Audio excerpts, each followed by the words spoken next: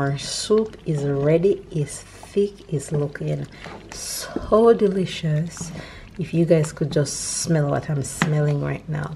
Hi guys welcome back to mel's kitchen. In today's video i'll be showing you real quick how I'm gonna freestyle making this quick pot of chicken soup.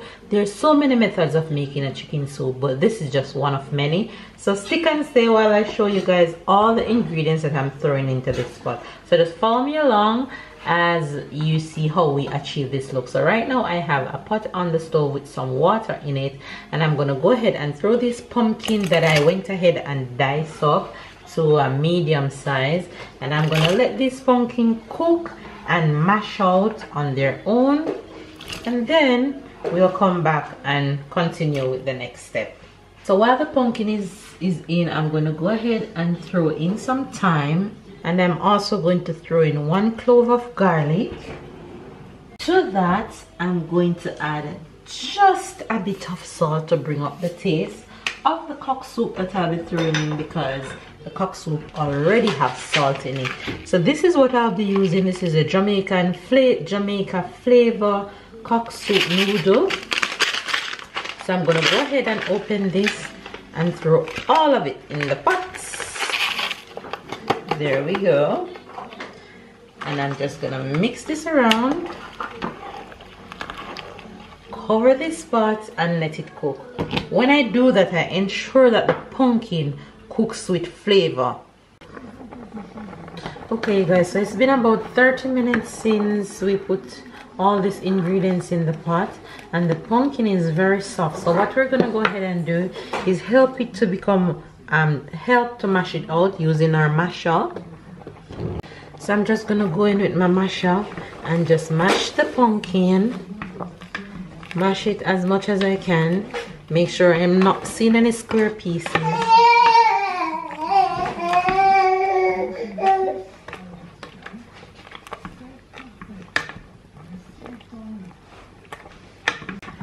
Okay that's about it. So we're left with this thick rich looking liquid which is amazing which is exactly what you want. That looks so good. So what i'm going to go ahead and do now is add some more water onto this. Because i need my soup. You're going for liquid here even though this soup going to be full of body but you need to make sure that when your food is finished cooking that you have soup all this liquid. So now let's move on to the next step. Over here on this board i have chicken i have corn irish potatoes carrots and some flour that i'm going to use to make dumpling and my aim is to put everything that i have here in the pot one time so it doesn't really matter at what step you put in the chicken or at what step you put in the corn. You just throw everything into the pot at the same time.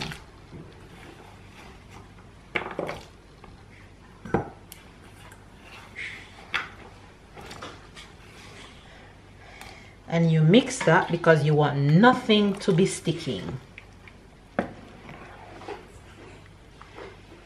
Next thing i should have um, showed you guys is that on the chicken if you realize I leave the skin. Not all of them maybe just two pieces I leave the skin. The rest of them I take off the skin. The reason why I leave the skin on about two pieces is because I want to get that fat flavor from the skin into the soup so that's my reason for leaving the skin. And i'm using chicken thighs. I, am I'm, I'm a big fan of using the part of the chicken with bone because all that flavor from the bone will let out into this soup. And that's the aim that i'm going for. Now i'm going to go ahead and make my dumplings and throw in there. And when i'm making soup i like to make my dumplings very small so let me show you guys the aim that i'm going for for these dumplings. My dumplings will not be bigger than this. The other aim that i'm to do is make what we call spinners. In jamaica we call these spinners. If your soup not have spinners then not no soup period. So I'm gonna make a bunch of spinners and then I'm gonna make a few of the small ones. My family love my son love dumpling. So if there's no dumpling when you cook soup he doesn't want it. A typical Jamaican kid. When you put in all your food, you want to ensure that your pot is cooking on medium heat. And you go back and you mix your pot because you want nothing to be sticky. Okay, so at this point, I'm going to slightly mix the pot, make sure nothing is sticking.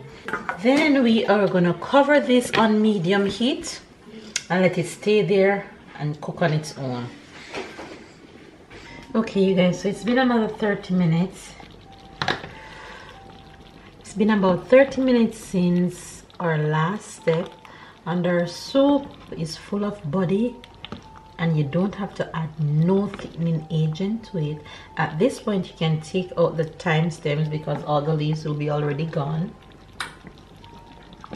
Okay so at this point what i'll advise most of you to do is add scallion another piece of thyme and hot pepper Jamaican hot pepper. But I don't have any hot pepper but I will not be using any hot pepper because my family is gonna drink this soup. The kids gonna drink this soup and I can't make it hot. And um, I don't have any scallions so I will be skipping that part. But what I'll do is add another piece of fresh thyme and then I have another cock soup here. But this time I will not throw all the cock soup into the pot. All I need is just the seasoning from it. So I'm to use this strainer here and I'm to sieve the seasoning into the soup just like that and mix that in. And then I'll leave this on the stove for another five minutes just to let the seasoning cook on very very low heat and then our soup will be ready. Doesn't that look so good? Thick and nice and full of body. Exactly what you're reaching for.